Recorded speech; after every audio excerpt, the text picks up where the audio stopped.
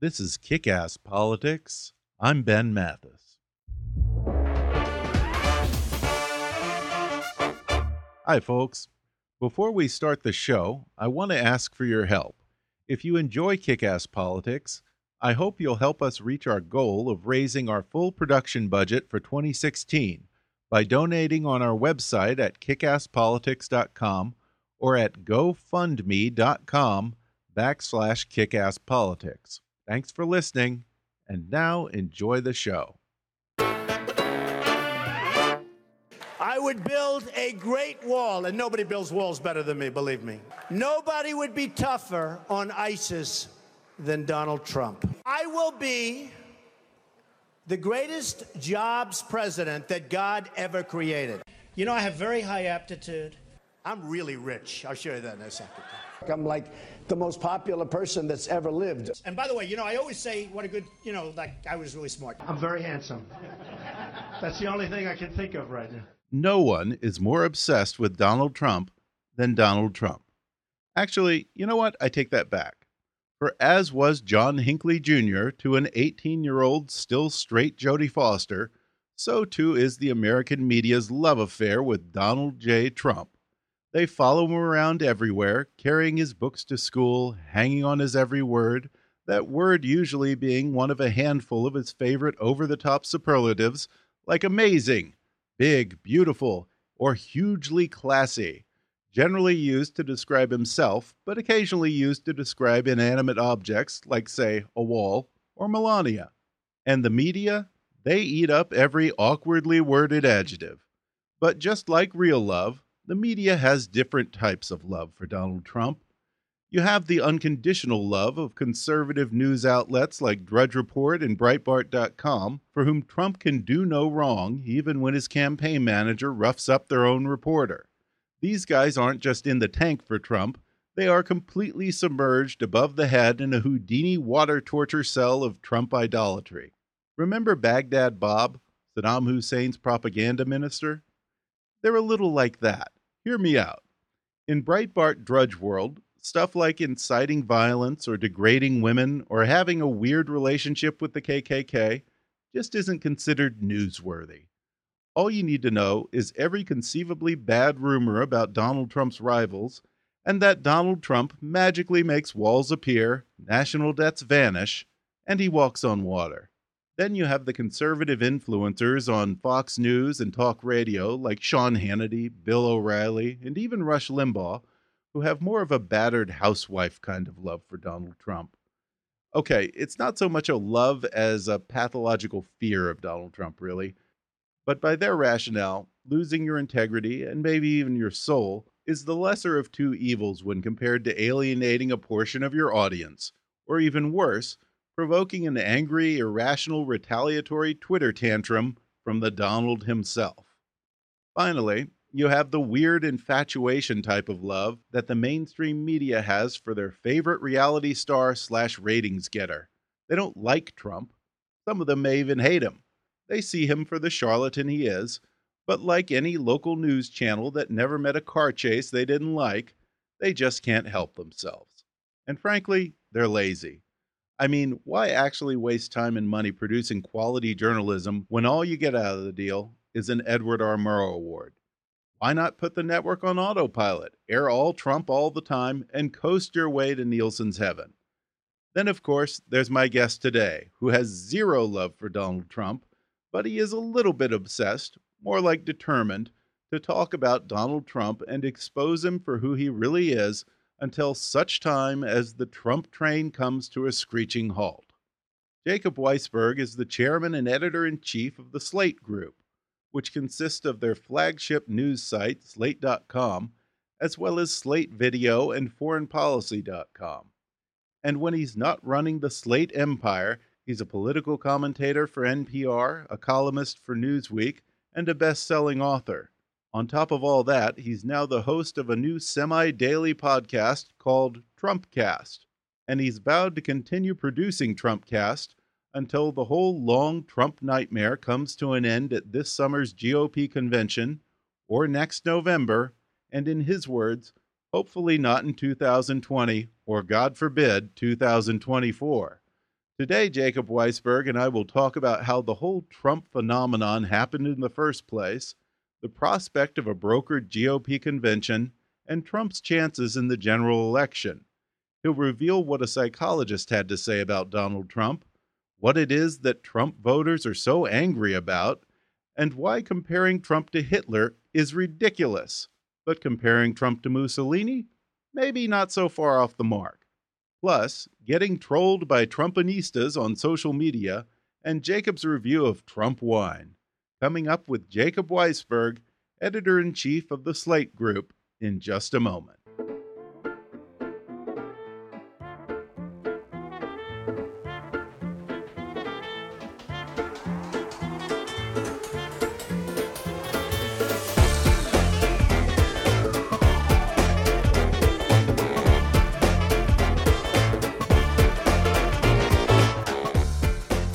Hollywood to Washington, it's time for Kick Ass Politics.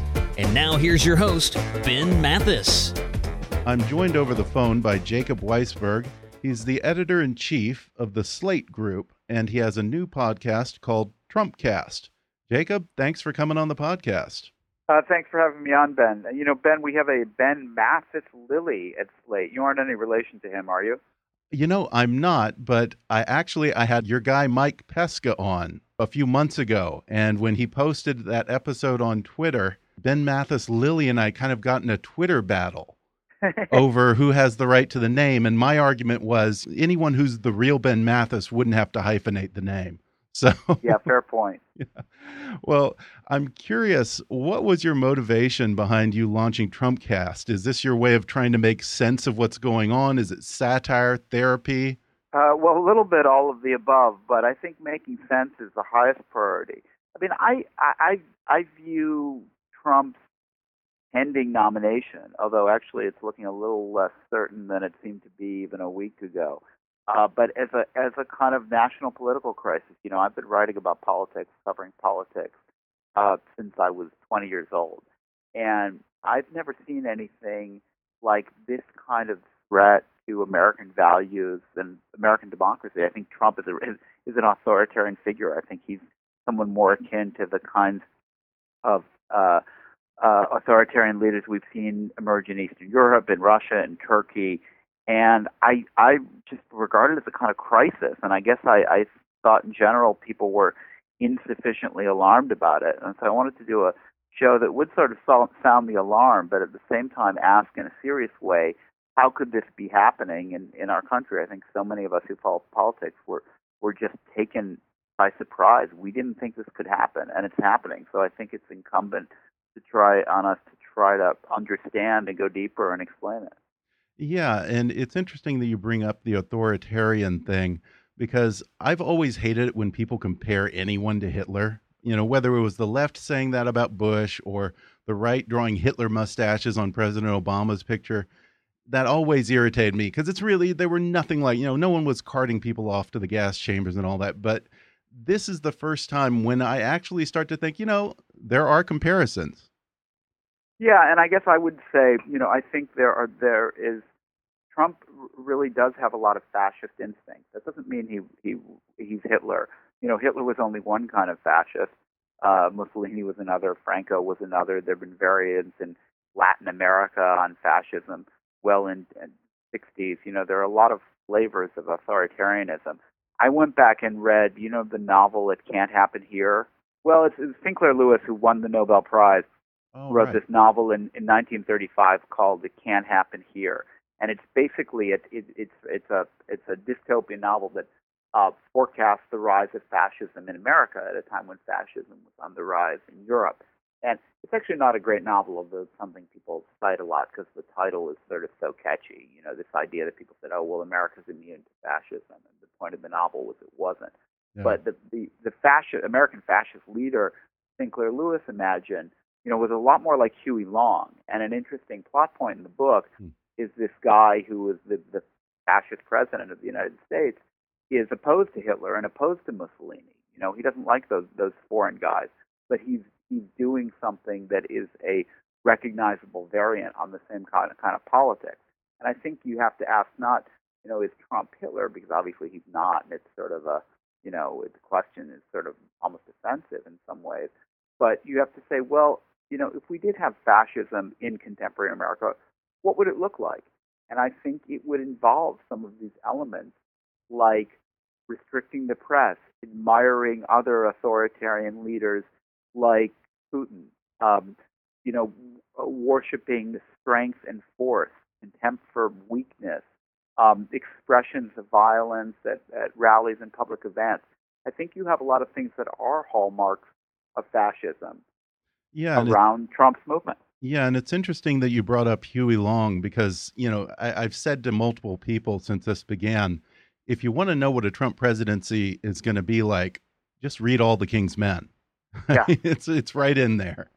And, and now that's a that's a great political novel. I mean, I I love that book, and I and I do think, you know, uh, there there's some there's some interesting analogies there. I mean, Trump. What's what's different about Trump is that he's he's pretty clearly a clinical narcissist. Narcissism is one of those terms that's kind of thrown around as sort of pop yeah. psychology a lot. I had on my show uh, a guy who was who was a, a clinical psychologist, uh, and you know says, I mean, uh, psychiatrists aren't supposed to diagnose people long distance, but he says Trump, the symptoms of narcissistic personality disorder are so clear around Trump that if you've studied this at all, positively can't ignore it. It's clear as day. And one of the one of the things about narcissistic personality disorder is it basically can't be treated because the people who have it don't right. think they're sick and won't won't seek treatment, won't accept treatment. And yeah, I mean, you don't need a PhD to see that he's clearly emotionally disturbed. Would it be such a huge leap to go from saying uh, that he is a narcissist to saying that he might be a sociopath? Yeah, I mean that's one of those distinctions. You know, I mean I think um, as as I've heard people make the distinction, a sociopath simply does not know the difference between right and wrong. Um, where you know a narcissist is is driven by distorted view of themselves in relation to the world. So you know sociopaths. I mean, being a sociopath is much more extreme and much more severe. And I'd, I'd probably argue against Trump being a sociopath. You know, when you hear other people. Okay in his family talk. Uh, you know, he doesn't actually seem like he was necessarily a terrible parent. Um, you know, I don't know. I mean, I think that I think the the the guy has an illness. I think there's something wrong with him. Yeah. Um, but he's not Jeffrey Dahmer. You know, so right, I think we, right. you know, but there it's are a little different like, shades of we have to keep some sense of perspective. Yeah, I think he would be the oldest president that we've ever had. So I almost wonder if he has that thing where, as people get into old age, they start to lose their filter and say crazy, inappropriate things. There, I know that there's a clinical term for that, but let's just call it crazy old grandpa ruined Thanksgiving syndrome. Dementia, yeah, no, but uh, uh, you know, he, uh, uh, I'm not sure if you saw the story about his doctor who said he can categorically state he's the healthiest person ever to run for president.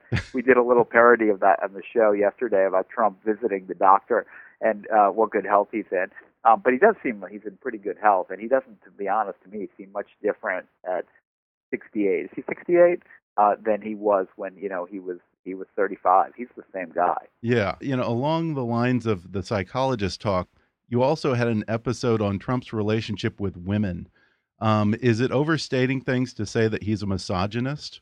No, not at all. I mean, there's, if if there if there's such a thing as misogyny, he is an he's an extreme expression of it, and we see it all the time in every way. I mean, to the way he, you know, starting with the way he uh, only relates to women in terms of their looks and their attractiveness, um, in terms of you know his his really uh, extreme misogynist policy views and this idea that you would punish people, i.e., put put women in jail for seeking abortions, goes well beyond what the most right wing people in the Republican Party uh, support. And I think there's just this confluence of of um, of success and male sexual power and political power uh, that you know just seems to have this sort of streak of of viewing women as secondary and, and second class citizens. You know, there's, there's nothing clear, and it's it's what's starting to hurt Trump because so much of it is piled up now that Yeah. you're starting to see Trump's numbers negatives have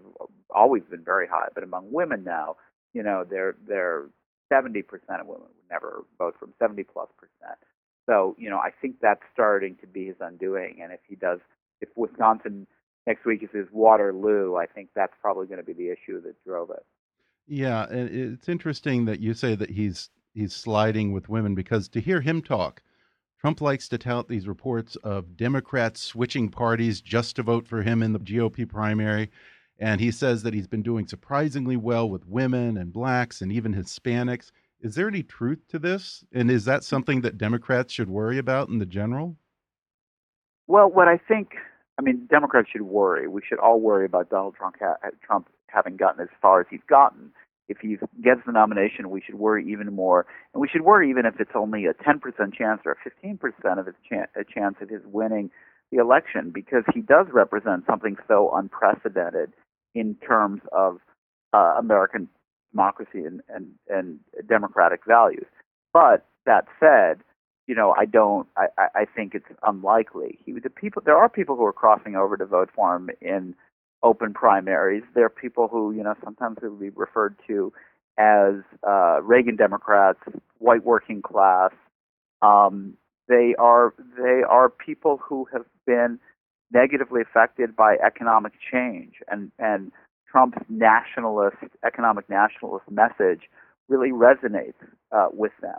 But what you've got to say on the other hand is that even men who fall into this category, lots and lots of them are union members, union workers. Mm. And the you know the unions, with the exception yeah. of the Teamsters, have have been very solidly democratic, and unions turn out their vote.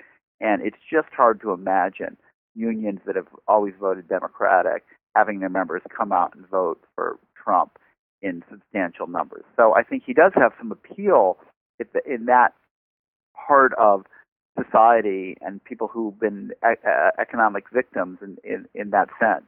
But I don't think that makes him mean you know means that he becomes a, a likely winner of an election against Hillary Clinton. Well, we're going to take a quick break, and then I'll have more with Jacob Weisberg, host of Trumpcast. Back in just a moment. Hey, folks, do you like reading but you don't have the time? Then maybe it's time to start listening to audiobooks. Audiobooks are the perfect thing to listen to on your drive to work or on the treadmill at the gym, or how about while you're cooking dinner or relaxing in the tub?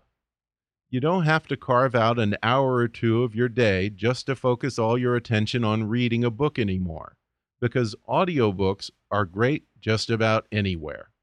And right now, you can listen to an audiobook for free with a special promotion for our listeners from audible.com.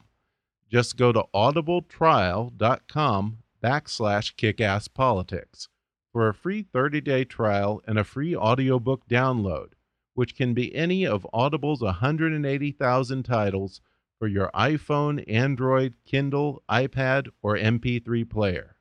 That's audibletrial.com backslash kickasspolitics or click on the sponsor link on our webpage at kickasspolitics.com to download the free audio book of your choice. And now, back to the show. We're back, and I'm talking with Jacob Weisberg, editor in chief of Slate Magazine and host of Trumpcast. So, Jacob, I'm still trying to figure out who the Trump supporters are and what it is that they want. And the only consistent explanation I keep hearing is that there's a segment of society that's angry. Everyone's really mad. And I keep asking myself, I asked Bill Kristol the other day, what is everyone so angry about? You know, it's not Vietnam. There, you know, this isn't the Great Depression. Maybe you don't like Obamacare or you don't think Republicans in Congress are doing enough, but still, overall, life's pretty good. So, what is everyone so mad about? Yeah, well, uh, it's funny. I mean, I, I, a little like you. I mean, I, I would react against sort of anger as a blanket explanation of what voters are doing because you know right. some voters are always angry about about something. Yeah, some true. people are always angry about something. I think you know the the legitimate. If you wanted to say what is le- the legitimate issue driving Trump support, it's economic stagnation for for the working class hmm. and uh, the growth of economic inequality. So while the country is in conventional terms doing pretty well economically. Unemployment is down at or just under 5%. The economy's growing. Uh, you know, credit's available. There are job, jobs available. If you are a non college educated worker you have over the last couple of decades not seen your standard of you've seen your standard of living increase maybe in absolute terms in that the you know the TV you can buy for three hundred dollars is a lot better than TV you used to buy for three hundred dollars. But in relative terms, relative to people who do have more education and better life opportunities, your prospects in society are going down. So that's fueling an anger that I think is legitimate, uh, and I think it's I think it is one of the biggest issues facing the country. But it's a complicated issue. It's an issue without easy easy answers, and it's an issue on which the answers that Donald Trump provides are pretty clearly the wrong answers that would make things worse. But I think it's because of that economic stagnation of lower middle class working people that Trump is is finding resonance to his economic message.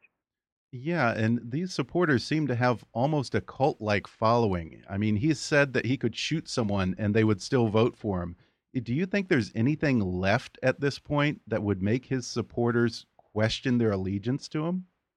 I mean, it's funny. He, he, he we may yet come to that. Him shooting somebody. Um, the there have been several moments in the campaign where I think there was just an almost universal reaction. But now he's really gone too far. You know, right. this comment about you know John McCain blaming John McCain for being shot down in Vietnam, or you know some of his comments about women or his comments about Mexicans.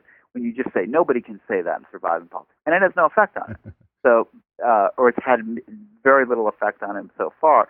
And there is this kind of base that takes all that as you know they, as reasons to support him.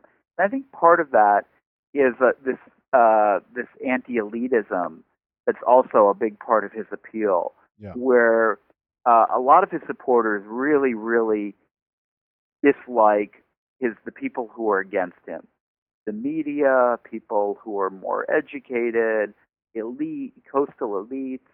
Um, there's a there's a kind of class resentment at the core of his appeal that the more people attack him, uh, the more it, it bonds him him to to them, and that's a funny phenomenon, you know. But it may be that I, I think there's core base of his supporters that actually are just impervious to facts and impervious to persuasion, and there's almost nothing he could do. I mean, yeah. you know, the the KKK thing came pretty close, but maybe if you know yeah, instead of just take? being slow to distance himself from the KKK, he actively endorsed the KKK or gave a Nazi salute. I think that might do it, but I'm not sure. Yeah, I mean the guy's like the Terminator. It's like nothing will kill him. You know, I used to say that at this point it would probably take him being a convicted pedophile for people to turn on him, but I don't even know if that would do it because some of the things he said about his own daughter are just downright creepy. yeah, that's for sure. Well, you know, they, the old Louisiana expression is you know the only thing that would sort of end a political career is being caught in bed with with a, a, a dead girl or a live boy you know. But uh, I think uh, with Trump, I don't think that would do it. Um, you know, but uh, yeah, he's always talking about how hot his daughter is. I mean, God. Yeah. It's funny his his daughter. You know, if you wanted to say something positive about him, I do think his daughter, other than the fact that she supports her father for president, seems pretty impressive.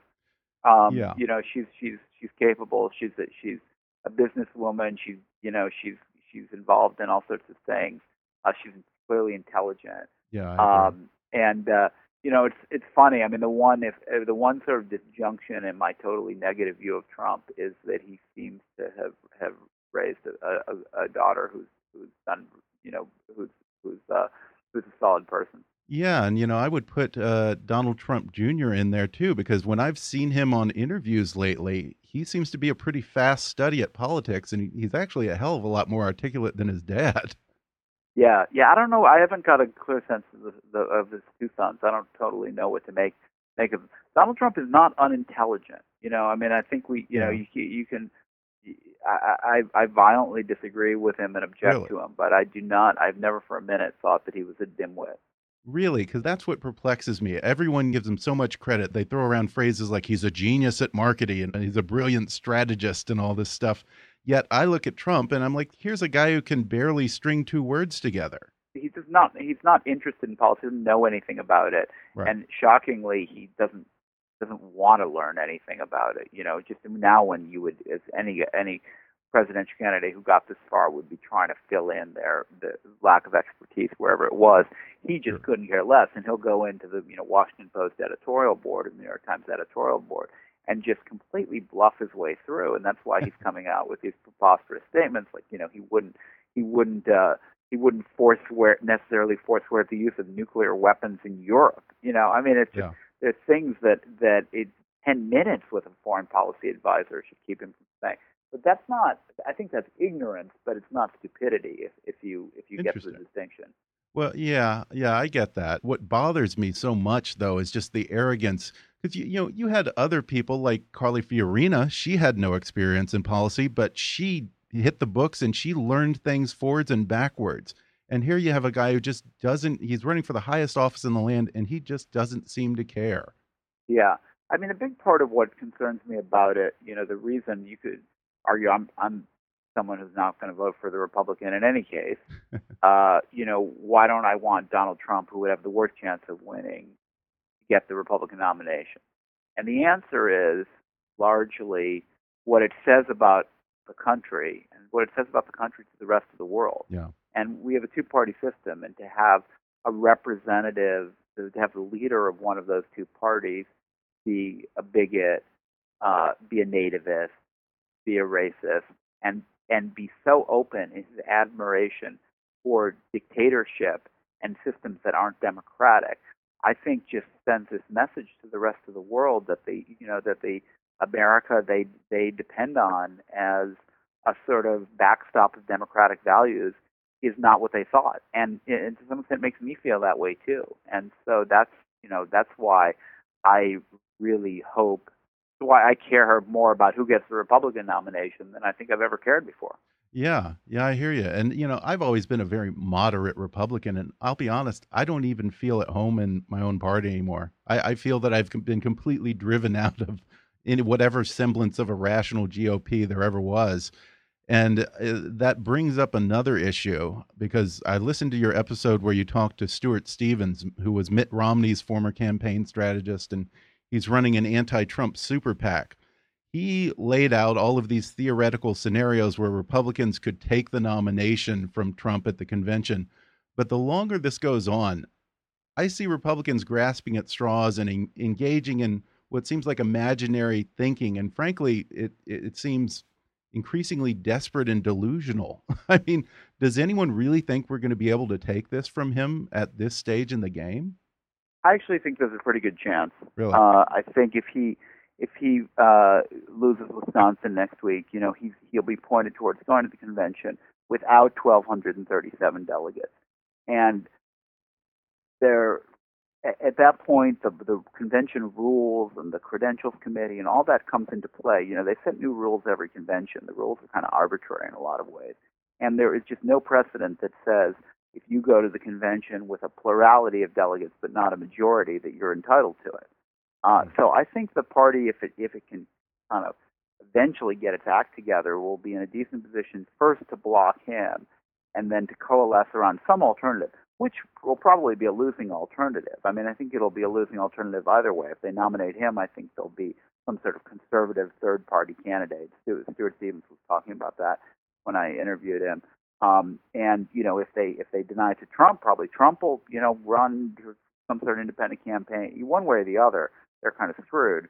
Oh, um. But I think there's a chance that you know that if they nominate someone other than Trump, it helps to protect them in Congress and from losing important seats in the Senate and a lot of seats yeah. in the House. And I think they're going to care about that. So the party cares about that. So I think I think there's a chance they'll they'll they'll keep it away from him.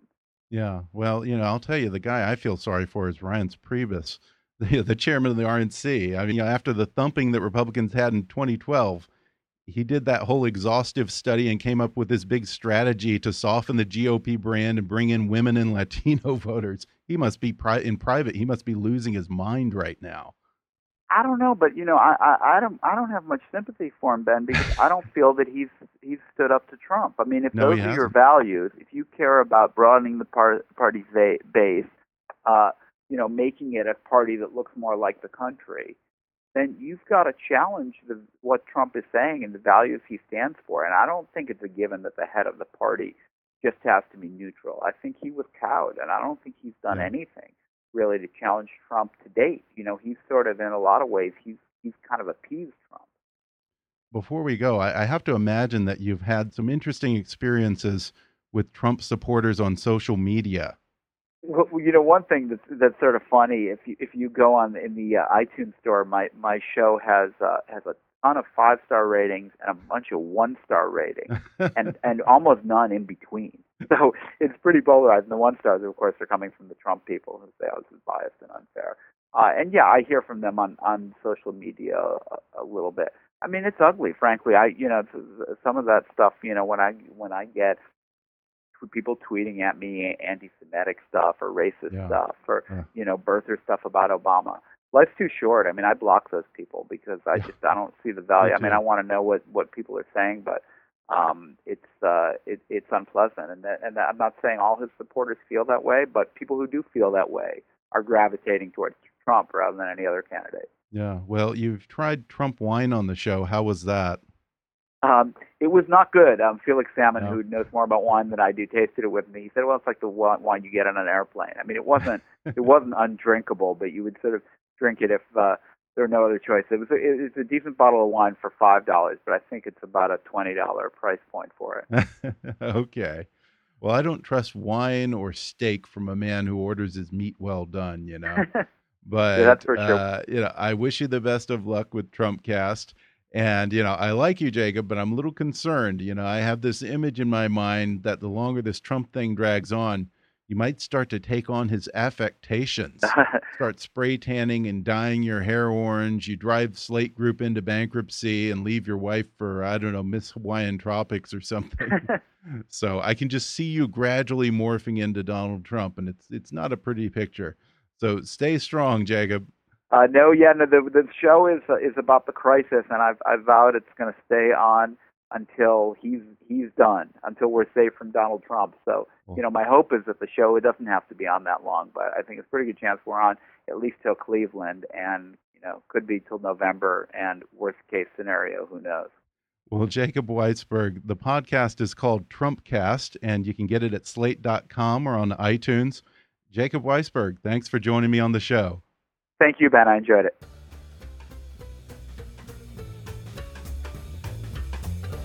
Thanks again to Jacob Weisberg for coming on the show. And if you enjoyed today's episode, I'd encourage you to check out his new podcast, Trumpcast. You can subscribe to Trumpcast on iTunes or at slate.com, and you can follow Jacob on Twitter at, at JacobWE. That's J A C O B W E. Be sure to subscribe to Kickass Politics on iTunes and leave us a review while you're there. And if you really want to help us out, then donate to our GoFundMe campaign at gofundme.com backslash kickasspolitics. Or click on the donate button on our website at kickasspolitics.com. Follow us on Twitter at, at KAPolitics or visit Kickass Politics on Facebook. And while you're there, recommend us to your friends on your social media. As always, I welcome your comments, questions, and suggestions at comments at kickasspolitics.com. On the next podcast, I'll talk with Pulitzer Prize winning reporter and national security columnist for Slate.com, Fred Kaplan, about his new book, Dark Territory The Secret History of Cyber War. We'll talk about a strange connection between a computer pioneer, the Matthew Broderick film War Games, and President Ronald Reagan that led to the first presidential directive on cybersecurity, and we'll discuss why it took Washington decades to take cyber threats seriously. Plus, we'll talk about how the U.S. cyber attack that shut down Iranian nuclear reactors may have set a dangerous precedent in the rules of cyber warfare. We'll get an idea of just how much damage the U.S. cyber teams can do to America's enemies. We'll weigh the cyber arms race between the U.S. and China, and we'll speculate on how the FBI was able to hack the San Bernardino shooter's iPhones. All that and more coming up with national security reporter Fred Kaplan on the next podcast. But for now, I'm Ben Mathis, and thanks for listening to Kick Ass Politics.